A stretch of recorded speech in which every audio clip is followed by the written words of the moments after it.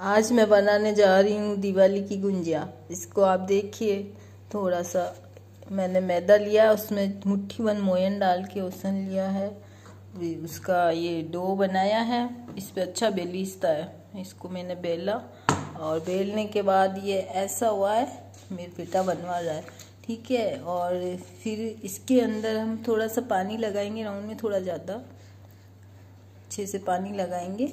और ये मैंने मसाला तैयार किया, उसमें ड्राई फ्रूट, काजू, बादाम और जो भी आप डालना चाहे किशमिश और जायफल, इलायची मिश्री डाली, मैंने शक्कर नहीं डाला है इसमें और काजू के टुकड़े इसमें डाल दीजिए और इसमें भी थोड़ा सा मैंने घी डाला हल्का सा इसको फोल्ड करके आप निकाल लीजिए, बहुत फास्ट बन जाएँगे आपके और जो ये रो मटेरियल वापस काम आ जाएगा आपका और ये बहुत ही टेस्टी बनेंगे। अब इसको है ना, थोड़ी देर में है ना इसको सुखा ये देखिए फ्रेंड्स मैंने इसको सुखा दिया है। अभी मैं दो घंटे बाद इनको तलूँगी और फिर ये दूसरे दिन बहुत ही टेस्टी बन जाएँगे रस्सी एकदम खाने के लिए तैयार रेडी